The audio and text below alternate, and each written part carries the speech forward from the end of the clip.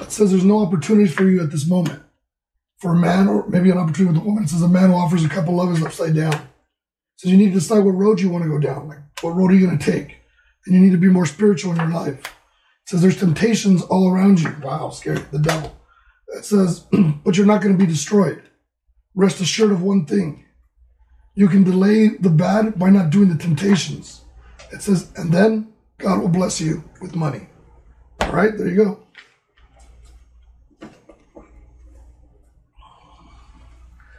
Second reading. It says that God, yes, and he's right side up. It says doesn't want there to be any battles or any fights, especially right now. It says he wants a woman, there's a woman who's going to offer a cup of love.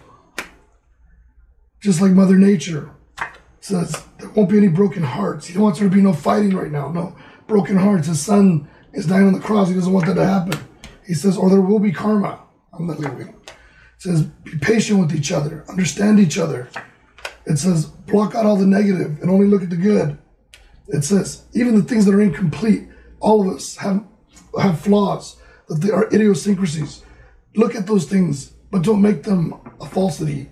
Make them something that you love about that person. It says, and then you'll be happy and have money. Okay? It says a new beginning or childbirth. So if you're looking to get pregnant, um, it says be careful. This month is probably a hot month for you to get pregnant. Hot caliente. You can do the cookie lookie and probably get pregnant. That's what you're looking for. It says it's unfortunate though, but it's true. For some people, it might be unfortunate. For some people, it might be the best thing in the world. It says a woman who's upside down spiritually who wants to have a baby. Wait a minute, is that my wife? Oh shit. Okay, so it says it says, but right now there's no triumph. It says until you return to love. So be loving with that person, look out for that person, and slowly, although there's no further between now, there won't be any depression.